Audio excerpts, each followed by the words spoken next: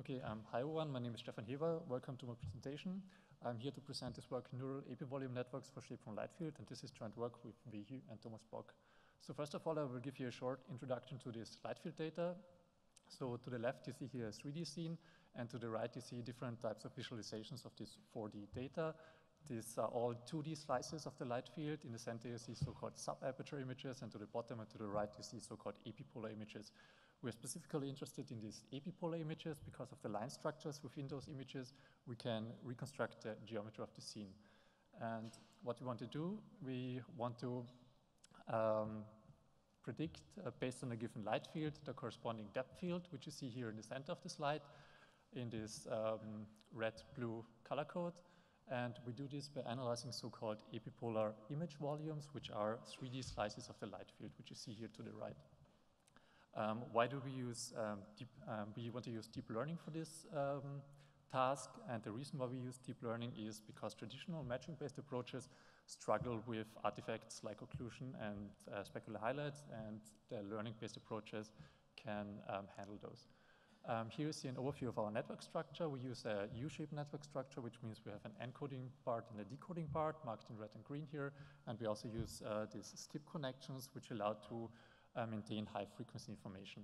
An important aspect of the network is that we use um, in every layer 3D convolutional, uh, we use only 3D convolutional layers, which allow to propagate informations in the spatial, in the two spatial dimensions and also in one directional dimensions.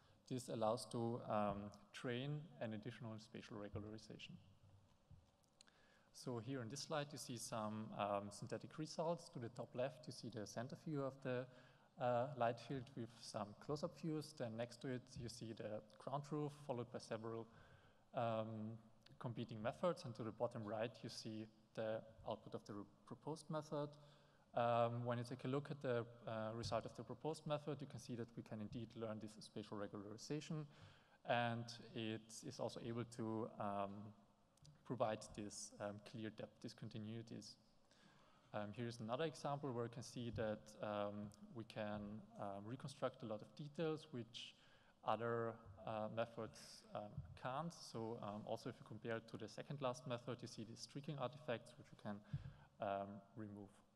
Um, here's a real-world example from the Stanford Lightfield archive. To the left, you see again the center view, and to the very right, you see the uh, proposed method. For instance, if you take a look at the truck scene, you can see that we can reconstruct, for instance, the wire or the hook.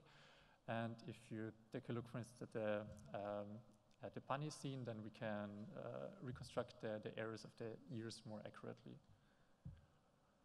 Um, to sum up, um, we present a novel end-to-end -end system for shape from light field, which basically analyzes epipolar image volumes and which can train a spatial regularization. The predicted disparity, map, disparity maps are clearly, um, can clearly outperform the state of the art, and not just in a lower error rate, but also in a lower inference time. So if you're interested in this one, it's uh, poster five, and thanks for listening.